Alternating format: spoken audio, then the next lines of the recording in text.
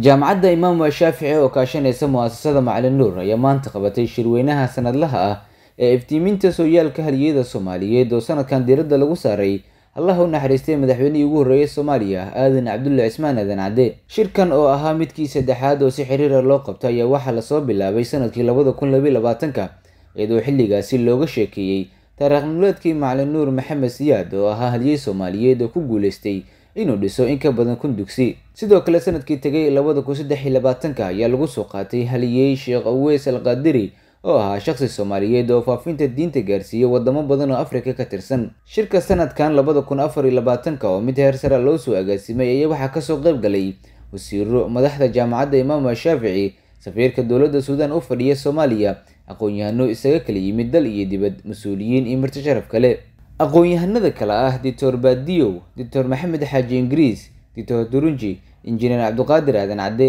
doctor saciid aadan cadde doctor cabdiqaadir baqdaadi iyo doctoresa fartuun maxamuud cabdulle ayaa ka sheekeeyey aadan cabdulle cusmaan sooyaalkiisa taariikheed sanqaadkiisa ilaa iyo siyaasadiisa guuleysatay marka waa wax wanaagsan inaan maanta mawlac macalinuur dib u qiimeynayno oo aan dib maskaxdeena uga fakerayno hogaamiyaashaas kacay oo hormoodkooda ka mid ahaa madaxweyne aadan cabdulle cusmaan madaxweynihii u horreeyey jamhuuriyadda soomaaliya. Taariikhda afrikana ka galay inuu ahaa ninkii u horreeyey ee xukun si dimuqraadi ku soo fuulay si dimuqraadina ku wareejiyey.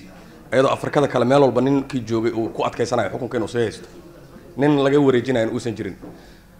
Madaxweyne aadan markuu baxay soddon iyo afar sano kadib ay dhici doontaa. Lixdan iyo toddobadii markuu asi ka degay. Soddon iyo afar sano kadib sagaashan iyo kowdii inuu zambia ka dego kenneth counter oo si dimuqraadi uga dego.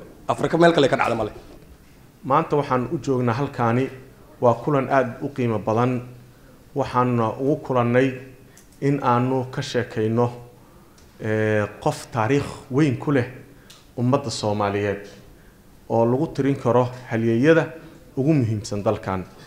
Waxaan u mahad celinayaa mu'asasada macalin nuur iyo jaamacadda imaam shaafici qabanqaabada ay barnaamijtan qiimaha badan ee aanan horay loogu garanaynin soomaaliya ay noo aas-aastay. Marka nin la tashada dadku ahaa shaqadiisa yaqaan qolyaha leegada wuxuu ku dhihi jiray ama iswa-isha war kuraasta ha boobina uma baahnidina inaad boobtaan. Kolleyba waa helaysaan tirada ugu badan. Ogolaada xisbiyada kale inay meesha ku jiraan in xisbi ka soo horjeeda dowladdu meesha uu ka muuqdo ogolaada dhibaata idma hayso khatarna kuma sugudina wuxuu dhihi jiray xisbiyada kale xukuumadda ministarada ha lagu daro say u bartaan iyaguna. Waxaa suurtooda inay maalin iyagu qaataan tirade. Wal arag wuxuu ka fekeraa in leegadu ay ay dhumin karto tirada oo kuwo kale ay qaban karaan. Markaas siyaasada danayn jiray oo dacwo maxaa la yidhahdaa odayganii ahaa laakiin xisbi run ah uu ka qaybgalo kaas baa ugu horreeyey group beledweyne waxay ahayd magaalo maxaa la yidhahdaa aan dhihi karno cosmopolitan bay. Waxaan ka wadaa mudug oo dhan bay waxay u ahayd madax gaalkacya laga soo bilaabo ilaa maxaa la yidhaha jowhar bay kapolwogo waxay u ahayd magaalo madax. Taariikhda book oo professor trunji oo qoray linea jid wuxuu ka furay uu ku ku soo koobay nolosha madaxweynaha dhinac markii loo fiiriyo noloshiisa privateka noloshiisa politica ahaan noloshiisa publica iyo privateka okay taas asaa qoray qof soomaali ah waaye aqoon uu leeyahay waxyaabaha qaarkood maxay diyaar yahay memorida oo qoray in madaxweynaha uu ka tagay keliya ma ahan. Sida uu arkayo professor trunji waa si muhiim marka kitaabkiisa weynkaa markii laga soo tago uu taariikhda ka hadlayo soomaalida ka hadlayo laakiin kitaabkan hadda uu aadan cabdulle cusmaan ka qoray. Runtii waxaa sida haddaa loo sheegay aniga waxaan qabaa in carabina loo tarjamo ingiriis af soomaaliya loo tarjamo jaamacadana lagu dhigo.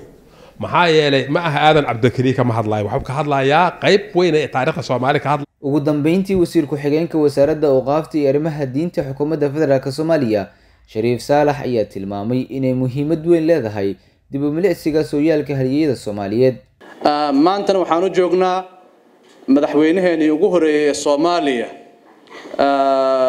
Madaxweyne aadan cabdulle cusmaan oo ku sifaysanaa sifaad aada u wanaagsan. Intuu xilka haayay xilkiisa si ammaano iyo karti ay ku dheehan tahay u soo gutay ee soomaalidoo dhan dadkii la soo shaqeeyey dadkii ka dambeeyey ay jeclaayeen.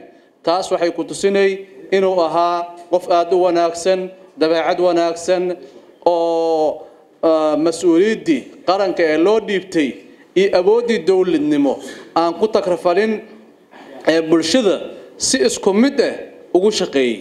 Waxyaabaha maxaa la lahaayey anagoo yarar aan maqli jirnay waxaa ka mid ah in wiilashiisa markii waxbarashada ay aadayaan jaamacadaha iyo iskuullada ay aadayaan in shacabka soomaaliyeed ay ka mid ahaayeen oo baaburo gooni aan lagu qaadi jirin wax gooni aan loo samayn jirin taas waxay abuurtay in maanta wiilashiis ay yihiin dakaatiro ay yihiin brofesora ay yihiin maxaa la lahaayay haldoorka ummadda soomaaliyeed. Cali aadan axmed warbaahinta dalsan magaalada muqdisho. Fogeysiis farxad leh. Haddii aad joogtid dalalka midooda yurub u k kanada austraaliya ama new zealand xawaaladda world remit waxa ay frii ka dhigtay dhammaan lacagaha loogu diray premier walet ayadoo ku gaaraysa in ka yar shan daqiiqo.